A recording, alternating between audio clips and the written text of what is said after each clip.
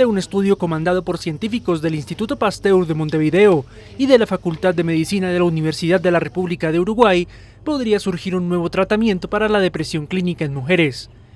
El posible hallazgo del vínculo hasta ahora desconocido entre una proteína de las células gliales del cerebro y la depresión se habría dado mientras experimentaba con ratones para estudiar la inflamación del tejido nervioso producida por traumatismos cerebrales. Al extraer una proteína de un tipo de células inmune del cerebro de los ratones, los científicos hallaron que estos roedores tenían menos motivación. Ese efecto se vio mucho mejor cuando separamos los datos en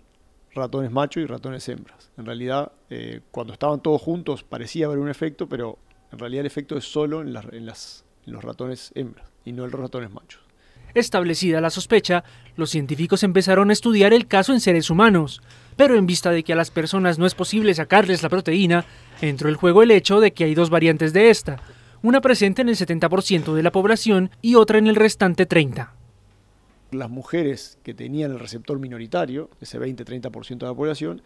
tenían cierta protección frente a desarrollar depresión comparado con las mujeres que, tenían la variante mayoritaria. El Instituto Pasteur aclara que con el hallazgo no se van a poder explicar todos los casos de depresión en mujeres, pero sí es un aporte a entender cómo se induce. Asimismo, podría permitir trabajar en un tratamiento más personalizado para determinados casos.